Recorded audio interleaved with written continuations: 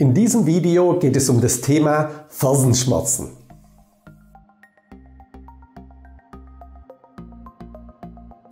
Hallo, mein Name ist Gerd Ebele von Online Physiotherapie und in Zusammenarbeit mit der OFA Bamberg haben wir dieses Video erstellt.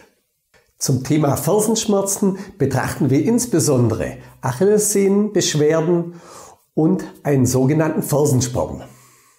Ich möchte mal hier am Modell die Anatomie kurz erklären. Wir haben hier im unteren Bereich die Achillessehne und die Achillessehne verbindet hier die Ferse, also kommt vom Fersenbein und die Wadenmuskulatur. Und die ermöglicht uns eben zum Beispiel auf die Zehenspitzen zu stehen. Überlastungen im Bereich der Achillessehne können dabei zu Beschwerden, zu Reizungen führen und dadurch eben auch Fuß- und Fersenschmerzen begünstigen. Aus Fasziensicht beginnt die Achillessehne eigentlich schon ganz unten an der Fußsohle. Dort gibt es eine Sehnenplatte, die sogenannte Plantarfaszie und die setzt eben auch hier an der Ferse an, am Fersenbein und genau in dem Bereich, wo sie ansetzt, kann sie auch aufgrund von Überlastung gereizt werden, es kann Entzündungen geben und dann einen sogenannten Fersensporn begünstigen. Und insbesondere auf diese beiden Beschwerdebilder möchte ich in den folgenden Übungen eingehen. Wir führen eine Faszienrollübung für die Wadenmuskulatur durch. Der Stütz ist die Ausgangsstellung. Die linke Wade möchte man bearbeiten.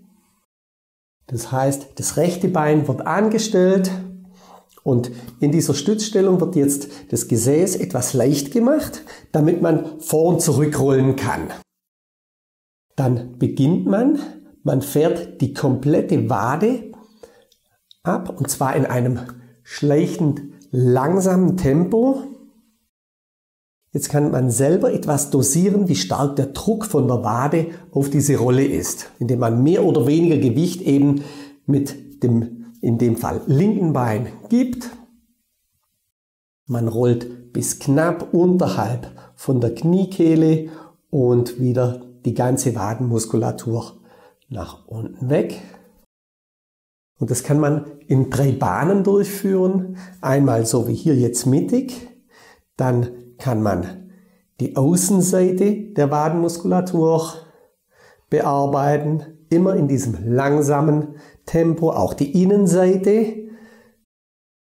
Und so kann man eben alle drei Bahnen Mitte, Innen- und Außenseite machen. Durch diese Rollbewegung wird die Spannung der Wadenmuskulatur reduziert und normalisiert.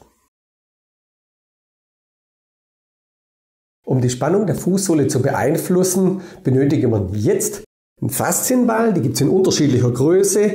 Das ist auch egal, welchen man dann nimmt. Wenn man keinen Faszienball zur Verfügung hat, dann kann man gerne auch einen Tennisball nehmen. Und setzen wir mal einen Fuß direkt auf diesen Ball auf. Mit den Händen stützt man sich nachher ab, weil darüber kann man ganz gut steuern, wie viel Druck kommt denn auf den Ball an. Mehr oder weniger, je nachdem, was man auch aushält, sage ich mal. Dann bewegt man vor und zurück. Man rollt ganz langsam die ganze Fußsohle aus. Und das macht man, indem man den ganzen Körper eigentlich verschiebt. Nach vorne und nach hinten. Und man bewegt, wie gesagt, die komplette Fußsohle und dabei denkt man in drei Linien. Einmal die Mitte, dann kann man eher die Innenseite der Fußsohle verstärkt bearbeiten, dann auch die Außenseite und so kann man eben die komplette Fußsohle abrollen. Immer unter Berücksichtigung vom Druck, was man selber gut toleriert man macht einige Wiederholungen wieder mit dem Ziel, die Spannung der Fußsohle so gut es geht zu normalisieren. Nun machen wir eine schöne Kräftigungsübung an einer Stufe. Da kann man ein Stepbrett nehmen, wie in diesem Fall, oder genauso geht es an der Treppe, also an der Treppenstufe. Das macht sogar Sinn, da kann man sich gut am Geländer festhalten. Dann geht es auf diese Stufe, nur der Vorfuß ist drauf, dass der hintere Bereich des Fußes, also die Fersen, gut absinken können. Beginnen so, man geht auf die Zehenspitzen hoch und jetzt kommt das Wichtige. Jetzt werden die Fersen langsam Richtung Boden gelassen, also eine bremsende Arbeit ist das für die Wadenmuskulatur auch. Und wenn man den tiefsten Punkt erreicht hat, dann geht's wieder nach oben und dann lässt man wieder langsam diese Füße sinken, die Fersen sinken. Und der Vorteil von diesem Geländer ist, dass wenn es nach oben geht, dass man sich ein bisschen behelfen kann, eben mit dem Geländer beim Hochdrücken dass da nicht die Wade so viel Arbeit leisten muss, weil der Weg nach oben ist nicht das Wichtige. Das Wichtige ist das Sinken lassen. Also eher beim nach oben, ein bisschen Hilfe über die Arme und dann das weiche Sinken lassen. Da macht man circa 10 bis 15 Wiederholungen und idealerweise von guten Trainingseffekt das Ganze dreimal hintereinander. Wir zeigen eine schöne Sprungtechnik. Braucht man einen Tisch dazu, wo man die Unterarme ablegen kann, kann man sich stützen. Die Füße stehen ungefähr hüftbreit, parallel. Und dann, wie es schon heißt, eine Sprungtechnik, drückt man sich ab mit den Füßen und landet wieder ganz weich. Das ist das Ziel. Dabei geht das Gesäß gerade, relativ senkrecht Richtung Decke und man federt ganz weich wieder ein beim Sprung. Und da kann man ruhig mal circa 10 solcher Sprünge machen eine Pause und dann kann man eine, eine zweite Technik durchführen. Man macht wieder diesen Sprung, achtet wieder drauf. Der Sprung geht senkrecht nach oben und man macht dazwischen jetzt einen Zwischensprung, also einen Zwischenhüpfer. Das ist schon eine ganz dynamische Sprungtechnik. Kann da auch ruhig probieren, 10 Wiederholungen zu machen. Danke. Die letzte Übung ist eine effektive Dehntechnik. Die macht man in einer Schrittstellung.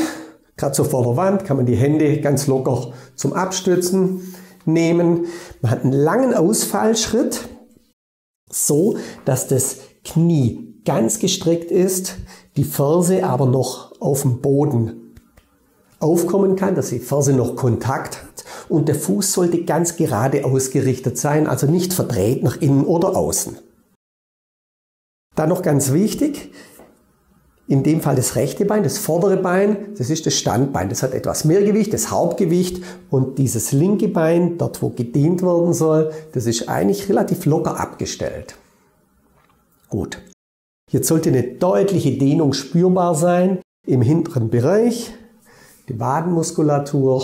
Und in dieser Position bleibt man dann für eine halbe Minute in dieser Dehnstellung. Und nach der halben Minute macht man folgendes.